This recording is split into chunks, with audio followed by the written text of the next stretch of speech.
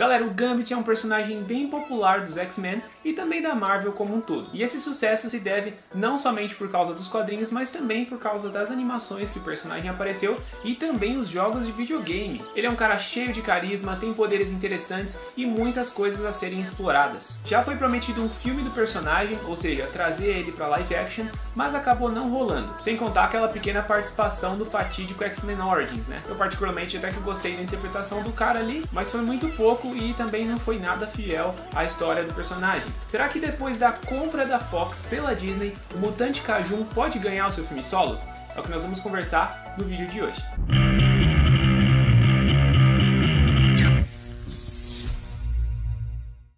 Já pensou você conseguir fazer desenhos super realistas que chegam a aparecer fotos? Agora você pode. Conheça o curso Desenhando Sem Dom. Nele você vai aprender diversas técnicas de desenho e de pintura e vai poder fazer trabalhos incríveis como esses que você está vendo. Usando tudo que o curso ensina, você vai poder dominar essa arte. O mais legal é que além do preço super acessível, você ainda vai sempre receber os novos bônus e atualizações do curso com novas técnicas e dicas. E tudo que você tem que fazer é adquirir o curso apenas uma vez. Demais, né? Então não perca essa oportunidade clica no link que está aí na descrição e aprenda a fazer desenhos espetaculares. Fala pessoal, tudo beleza? Aqui quem fala é o Saulo Ferreira. Sejam muito bem-vindos ao Conversa de Nerd. Lá em 2015 foi anunciado pra gente que o filme do Gambit seria produzido e também já foi confirmado que o ator Channing Tatum iria interpretar o personagem. E tudo estava tão certo e tão confirmado que o ator chegou a participar de eventos junto com o elenco do X-Men, com direito a uma camiseta bem maneira do Gambit, e também participou de fotos ali, não só com o elenco do X-Men, mas também com o elenco do Quarteto Fantástico de 2015,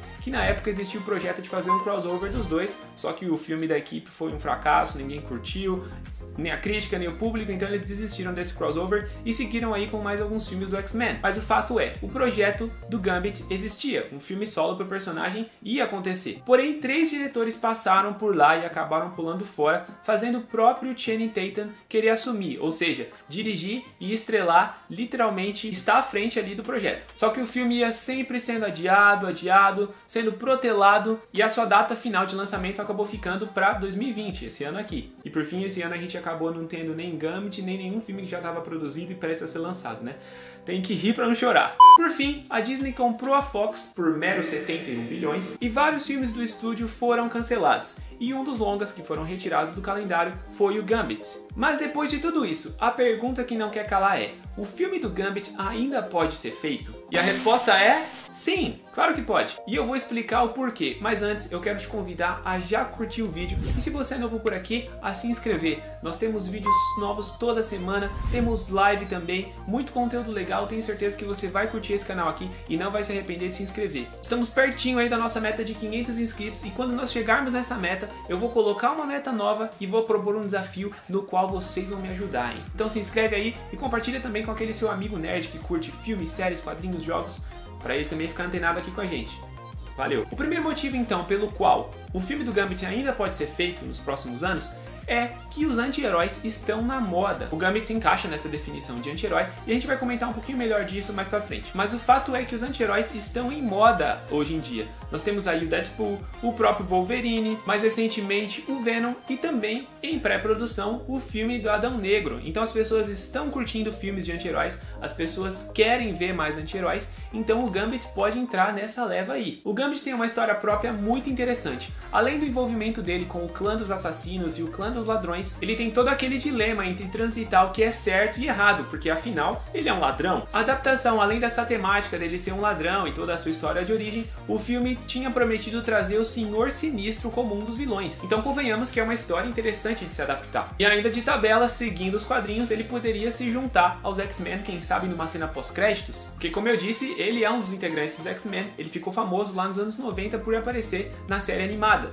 Então isso também poderia rolar nos filmes. Essa é uma das possibilidades de trazer ele para as telonas e também para a equipe de mutantes. O outro motivo é que a Marvel precisa de novos personagens no UCM. Com a morte de personagens importantes como a Natasha Romanoff, o Steve Rogers, o Tony Stark, a Marvel vai sim investir em novas equipes e em novos personagens. Eu já disse aqui em outros vídeos que é uma questão de tempo para ela trazer o Quarteto Fantástico e o X-Men para o UCM. Essas histórias então vão ser exploradas e a partir daí é possível trazer sim o Gambit com um filme solo, talvez entre X-Men 1 e X-Men 2 ou então introduzir ele em um filme dos X-Men, talvez em um roubo, e posteriormente contar a história dele de origem, né? Desenvolver melhor, assim como já aconteceu com Homem-Aranha e com Pantera Negra. Eles apareceram em Guerra Civil e depois ganharam seus filmes solo. Um outro ponto importante é a diversificação. Com tantos filmes de super-herói, eu sei que ele é anti-herói, tá bom? Não precisa me corrigir nos quadros. Eu sei que ele é anti-herói, tá? Não precisa me corrigir aí nos comentários. Mas esse universo dos quadrinhos, né, com tantas adaptações sendo feitas, pode haver uma saturação e acabar ficando naquela história de mais do mesmo. Principalmente a Fórmula Marvel, né, galera?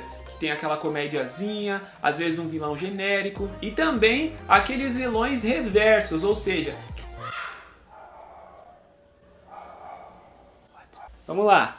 Oh meu Deus. E por muitas vezes aquele vilão que é exatamente igual o super-herói. Ele só é do mal, essa é a única diferença. O Gambit pode ser um diferencial nisso tudo aí. Sem contar a questão cultural e social, né? Aquele sotaque cajun dele, a história de vida, né? Ele foi abandonado quando ainda era criança. Esses são temas interessantes a se explorar e coisas que a gente ainda não viu no CM. E a cereja do bolo é que a gente tem um ator que ama o personagem, galera. Como eu disse, o Channing Tatum estava disposto a fazer esse papel ao ponto de querer dirigir o próprio filme depois que três diretores pularam fora do projeto. Ou seja, ele curte o personagem, ele quer interpretar, e você ter um cara desse no seu filme é uma coisa que todo produtor quer. E a Marvel já tem esse bom exemplo com o Downey Jr., né? Ele simplesmente se tornou o Homem de Ferro e ficou por anos e anos aí, não só na sua própria franquia, mas também fazendo aparições em outros filmes do UCM. O mesmo pode acontecer com o Channing Tatum.